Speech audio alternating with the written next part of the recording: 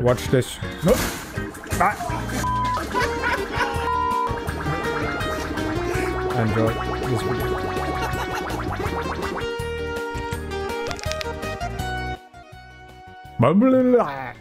I've returned, and today, because of the help of a handsome fella, we will learn how to make a bomb timer for Counter-Strike 2.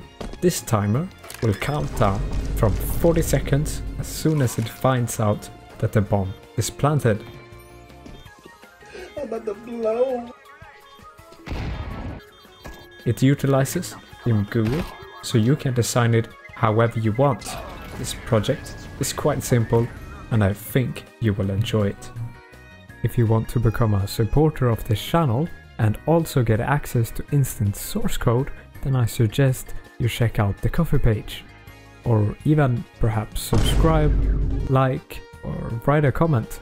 I would love to hear the next feature you want me to cover. You can also find the Discord server in the description. But remember, comply with the terms of service for the game you're coding hacks on. Many games permit it and it's essential to respect their guidelines.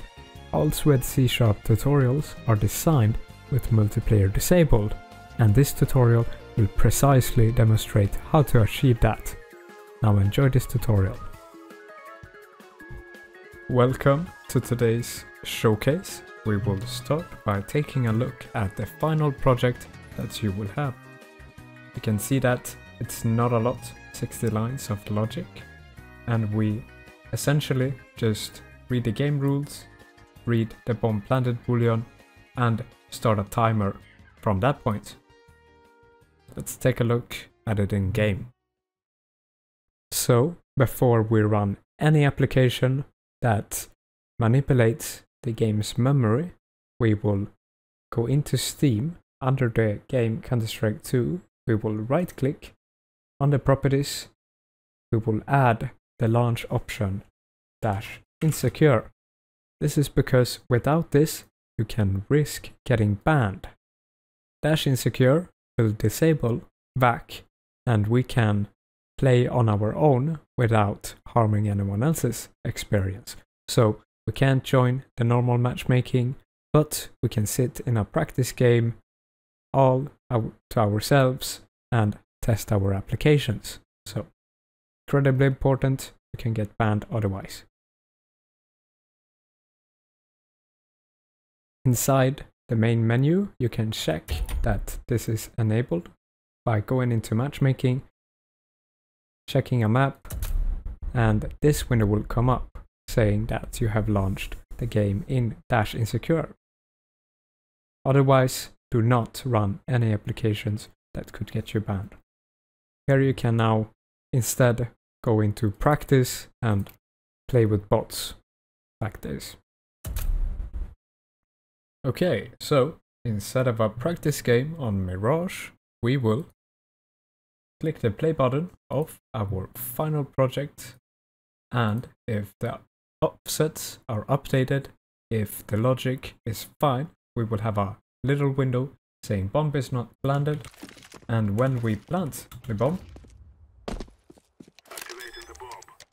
doot, doot, doot, bomb planted. Seconds before to blow. 35 34 33 32 and so on get out of here you can move the window around let's see when it explodes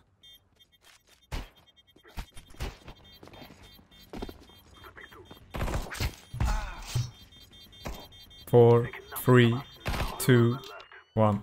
Goodbye. Okay. And the bomb is not planted anymore. Let's check the city side. So the bomb is planting, and we see bomb planted. 37, 30. Stop! Stop! No! Alright, I wanted to defuse, but... And the bomb timer is off again. Alright, let's, let's actually make this. We will create a new C-sharp console app with the .NET framework 8. After that, we will set the build type in the project settings to 64-bit. Now that the project is set, we will install from the NuGet Package Manager clickable transparent overlay, the version 9.1.0. Then my beautiful memory library, Swed64. Okay, we're ready to create some code. We will have a new class, a renderer class, that will handle the drawing or the bomb text and so on. This class will be using clickable transparent overlay and ImGui.NET. After that, we will inherit the overlay to the renderer class. And because we inherit the overlay, we will have to implement the protected override of the void renderer. This is the place where all of your drawing will happen. Let's add some class variables. We will have two colors, one for when the bomb is planted and one for when it's not.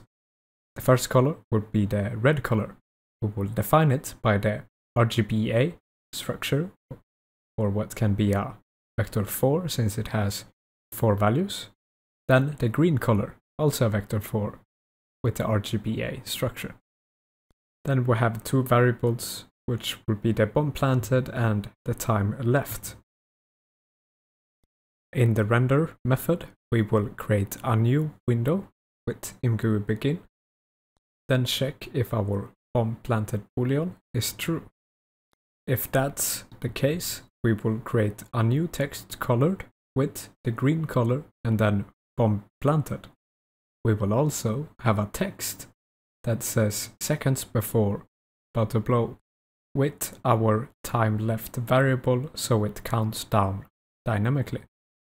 Now, if the bomb isn't planted, we will just have our default text saying that it's not planted with our red color. Okay, we're done with the GUI part of the video. We will move into our program.cs file and add using Swed64, then initialize the Swed library with the CS2 process. After that, we will get the client module with swed.get module base and then the client.dll. This is because the addresses are relative to the client module. Then real quick, create an instance of our renderer class and run it within a render thread. Then we will need some fresh offsets, so we will head into the CS2 dumper by A2X. Credit goes to him for this beautiful CS2 dumper where we can get freshly updated offsets we will head into the offsets.cs file and grab the DW game rules. Then we go into the client.dll.cs file, also under the generated folder. Here we get the b bomb planted boolean under the cs game rules object, not the c4 weapon. Alright, let's create the timer loop we will have a while true statement, so it always runs, and inside of this we will read the game rules. So we use the swed.read pointer with the client module, then the dw game rules offset. We will have a quick check that the game rules pointer does not equal zero.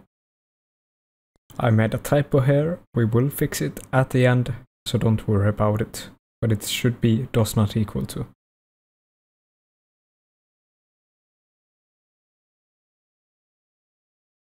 For this to work, we will have our very own boolean, bomb planted boolean. We will define it above the while loop. Then we assign the value of the bomb planted boolean with swed.read bool using the game rules and the bomb planted offset. So, if the bomb is planted, we will have a true here. If that's the case, we will start a timer from 40, counting 40 seconds down from when it initially started. This means if we figure out that the bomb planted is true in a later state of the bomb placement, it will give us a false countdown. So it's essential that this loop is run before the bomb is planted. Now, because the bomb planted state can change, someone defuses it or whatever could happen, we will read the boolean for every second. If it's not planted, we will break the loop. Now, to calculate the time left, we will take the initial time of the bomb to blow, 40 seconds, and subtract the seconds passed by, so minus i.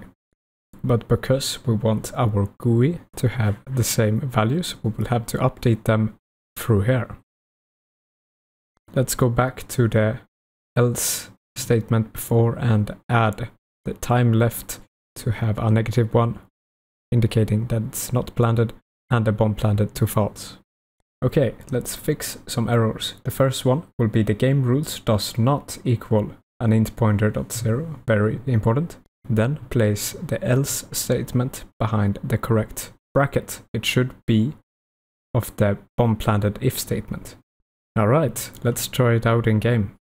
So, before we run any application that manipulates the game's memory, we will go into Steam under the game Counter-Strike 2, we will right click under properties, we will add the launch option dash insecure. This is because without this, you can risk getting banned. Dash insecure will disable VAC and we can play on our own without harming anyone else's experience. So we can't join the normal matchmaking, but we can sit in a practice game all to ourselves and test our applications. So incredibly important, you can get banned otherwise. Alright, so in a practice game on the map Mirage with some bots and the don't shoot command for the bots enabled, we will test our project. Here we have the tutorial. If everything is fine, if the offsets are updated and the logic is the same, we will have a bomb timer and once we plant the bomb, doo -doo -doo, bomb planted seconds before about to blow 36, 35, 34. Let's uh, speed that through. 13, 12, 11, 7, 6, 5, 4, 3, 2, 1. Perfect. Bomb is not planted. It works as intended.